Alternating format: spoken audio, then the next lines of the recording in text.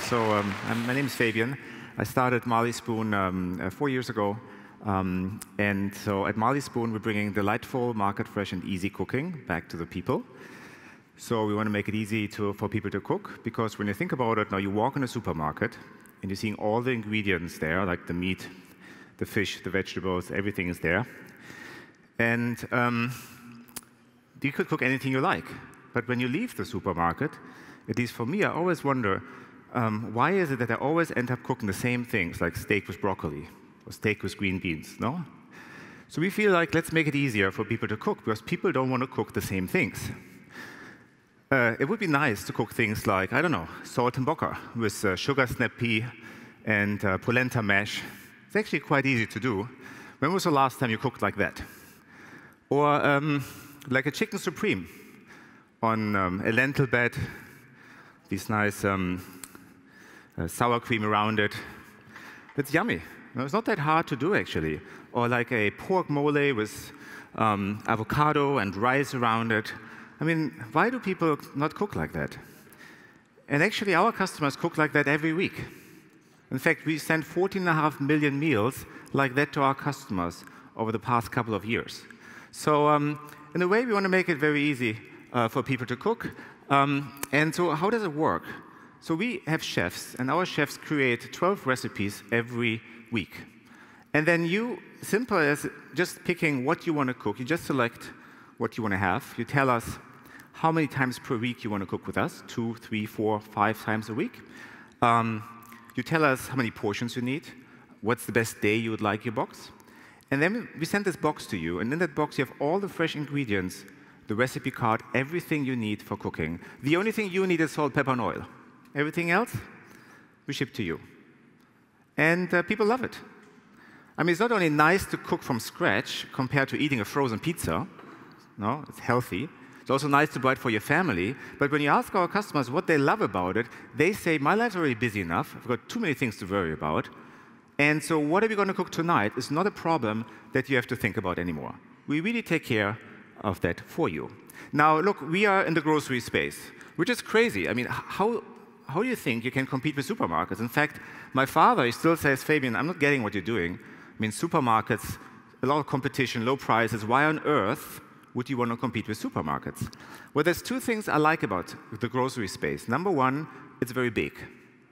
In fact, people spend more money on food than anything else. So maybe your rent or your mortgage comes first, but food is pretty big. It's also the last vertical to switch from offline to online. We have this channel switch. I mean, over the last years, we had multiple industries to go from offline to online, like fashion is 20% online, uh, um, electronics is 30, um, toys is 40% online, and this had a big impact on, on offline retail. Think about Toys R Us, no? It's gone or borders doesn't exist anymore. Shopping malls dying because you have all this infrastructure there, and then the sales go from offline to online, and the utilization comes down, and suddenly you don't have a business anymore. So I think in groceries, which is a low margin industry, if the channel switch, it's not 20, 30, or 40 percent, if it's just 10 percent of sales go from offline to online, I don't think the business model works which luckily is not our problem because we're not a supermarket actually. Um, so what we're going to do is we're going to use this channel switch situation to build large consumer brands over the coming years.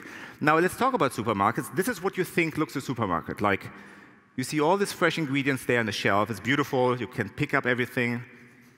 Obviously, a supermarket doesn't know what you need. That's why it's all there.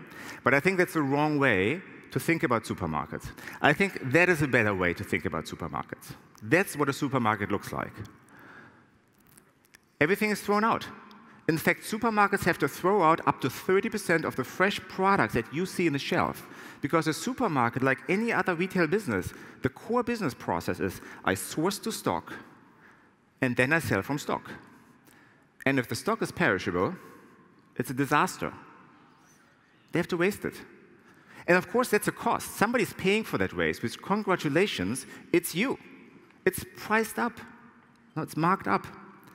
Um, it's also, by the way, pretty bad for the environment. I mean, think about all the, the, the resources that go into agriculture. 70% of the fresh water that we use on planet Earth is not us showering or washing our cars. It's going actually into agriculture.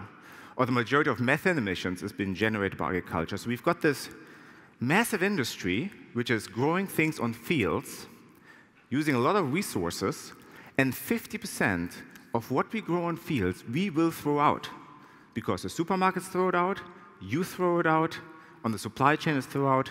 It's crazy. Now let's talk about us. We're not a supermarket, we're not a retail business, we're actually a manufacturing business. We love manufacturing. We are like Procter & Gamble, Unilever. Only that unlike these guys, we don't sell to retail, we sell straight to the customer. And what that does, it changes the supply chain from a source to stock supply chain into a source to order supply chain, meaning we only buy the food we've already sold. So our food waste is not 30% like in supermarket, it's actually less than 1%. We don't have any food waste. So we have this unfair advantage of a supermarket of having much higher margins because this 30% waste we don't have.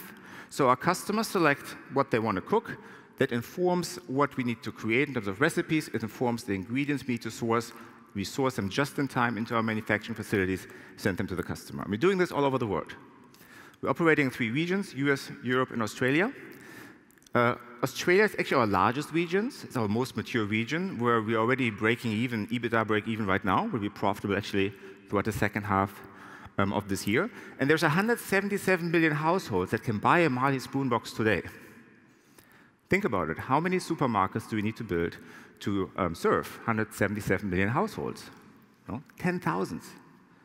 We have eight facilities all over the world two in Australia, three in Europe, and three in the US.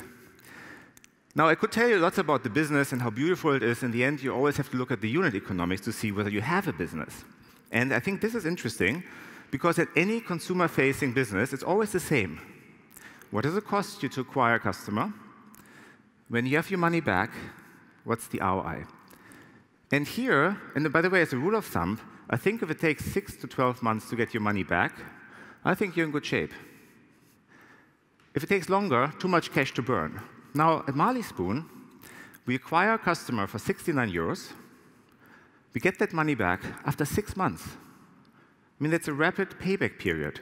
More importantly, our ROI is 3x, so we can invest a dollar and we get $3 back. So we found a machine that allows us to invest $1 and return $3. It's a 40% IRR. And this is not a small margin, uh, a small niche business. This is cooking, groceries, the largest vertical of consumer spending.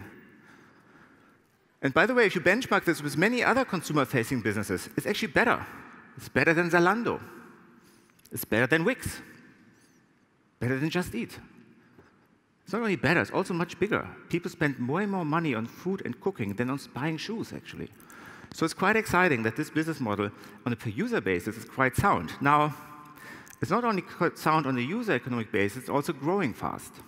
So we grew 160% year over year from 16 to 17. We're forecasting that we're going to grow 75% in the current year. But when you grow fast, the question you always ask yourself, um, does your fixed cost also grow fast? Because you only have a nice business when the top line grows and fixed cost is kind of flat. You call it operational leverage. Now, the nice thing is here as the business grew from the first half 16 to the second half 17, 4.7x, our G&A just grew 60%. No? I mean, that's massive operational leverage. If you compare the first half 17 to the second half 17, the dark gray bar doesn't move anymore. It's flat. No? So this is why this business, while it's still very small, 93 million in sales, it's nothing. It's like a large supermarket or two supermarkets. We are already at the point where this business becomes profitable. In fact, Australia is our first region, is break even as we speak. It's going to be EBITDA profitable throughout the second half this year. Um, and globally, every year we've halved our EBITDA margin. Negative still. But actually, we're going to get this company into profitability uh, in the back end of the second half 2019. So we're actually on the process of bringing this company um, into profitability. Now, if you sum it up, when you think about it, we offer you to cook 10 times better than the supermarket and today it's the same price. But we are very small. We have no economies of scale. Think about it. What happens if we would get to scale? I think then we should be able not to just offer you 10 times better than the supermarket, but also cheaper. This will be much cheaper than cooking with the supermarket. And then I don't think there's any reason if you're cooking anyway four to five times a week, to go to the supermarket. Thanks so much for your attention.